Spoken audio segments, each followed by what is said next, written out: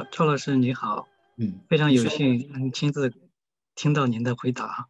呃，我我就是听到呃这个您对中国的这经济政治的这些分享，我觉得非常的长见识。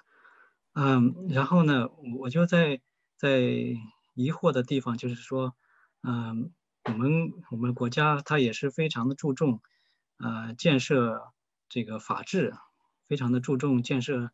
有一个制度上的优越性，然后呢，其中啊政治制度呢，它就讲到要讲民主集中制，啊要讲究这个啊多党合作、多党协商这种政协制度。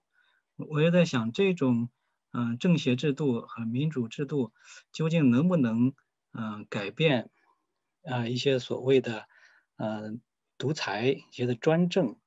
这个在我们的实际的政治生活当中，它发挥有多少的影响力，或者说是在实际的生活啊，实际的政治生活当中不能发挥影响力，它的它的这个操作的原因是在哪里呢？谢谢。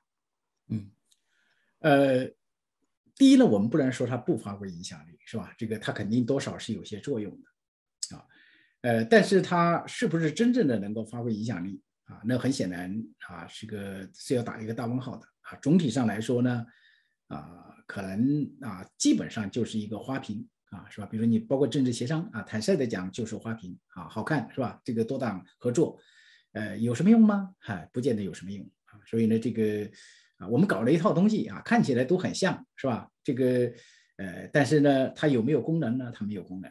啊，是吧？这个呃效果肯定是不行的啊，所以我们今天才有这么多的问题啊，是吧？我们又走到了一个好像无路可走的地步啊，呃，那么这个原因呢，就在于啊，就是你刚才讲的是吧？似乎我们有一些东西，我们也不能说它一点效果都没有啊，我们也受到了一些现代文明的一些理念的影响，是吧？然后似乎也在拼凑一些东西啊，坛坛罐罐摆在那里边，花瓶摆在那里头啊，但是它有没有根本的效果呢？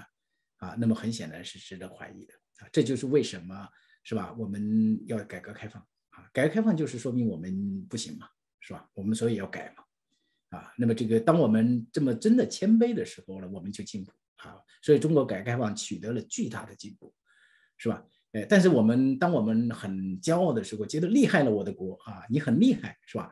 哎，觉得这个我们自己很自信的时候呢，我们又走到死胡同了啊！所以我们知道，真龙以前必有谦卑啊。啊，狂心在跌倒之前啊，当我们觉得很骄傲，我们这套就行了啊，就够了啊，那我们就不行了。所以，我们看到克强总理也在讲了，是吧？这个我们要建立市场经济，它是一定是法治经济啊，也就市场文明只是表象啊，它的里头是什么呢？